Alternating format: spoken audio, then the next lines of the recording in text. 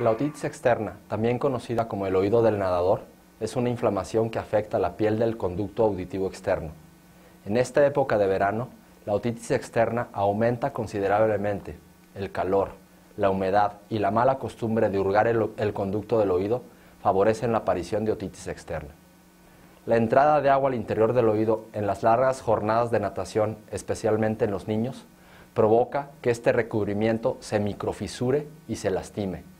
La piel que tapiza el conducto es tan frágil que fácilmente se macera y permite que las bacterias que se encuentran sobre la epidermis puedan invadir capas cutáneas profundas con la consecuente respuesta de inflamación del huésped. Los síntomas se presentan unos pocos días después de la exposición del conducto a la humedad de albercas, mar y playa. El paciente inicia con algo de comezón en el oído para después presentar dolor que en ocasiones es severo. El oído se siente tapado y puede escurrir secreción casi siempre sanguinolenta.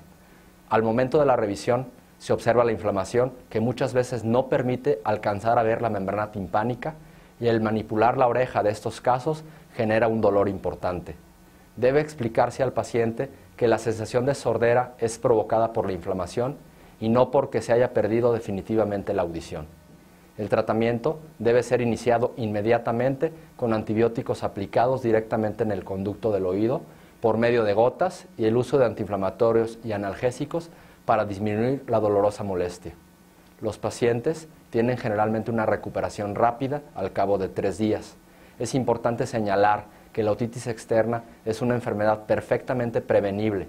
El uso adecuado de tapones para nadar y secar el oído después de la jornada de exposición al agua es fundamental para evitar el problema y entonces disfrutar de unas buenas vacaciones.